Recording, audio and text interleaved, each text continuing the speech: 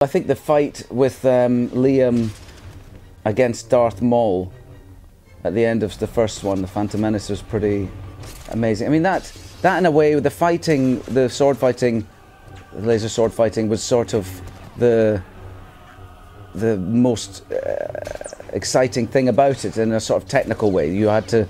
We spent a lot of time learning those fights. They were choreographed. They were. It's like ballet. Yeah, you you couldn't get it wrong because we were like hitting each other. So it, when you're learning the fight, if you get it wrong, the pa- the chances are you're going to hit somebody. And we often got hit in our knuckles and stuff because there's no hilts on those lightsabers, you know. So we, we we we would wrap each other's knuckles now and again. But I loved that. I liked I liked learning the fights, um, and I liked doing them. And I think that one was probably the sort of the Yes, the most extraordinary. They, they literally had to slow. Usually, what they do is they um, undercrank the camera, right? So it speeds up a little bit what you do. That's what happens in old-fashioned car chases and stuff from the 30s. You see where it looks a li- everyone looks a bit because they've undercranked the camera to make it look faster.